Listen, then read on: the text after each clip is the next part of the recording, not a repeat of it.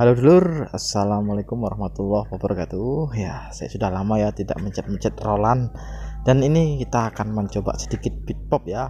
Jadi mohon maaf kalau banyak salah. Hehehe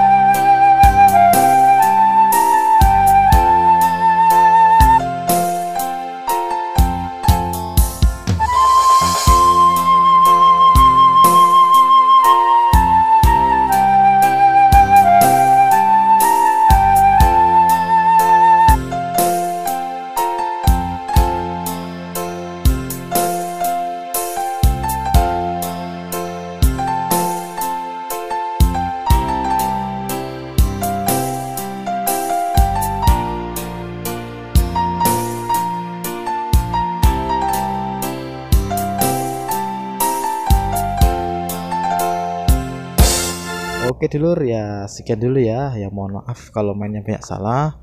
Di sini saya hanya mengetes speed di Roland ini ya yang pakai aplikasi ORC yaitu setnya Mas Raffi official. Oke, terima kasih.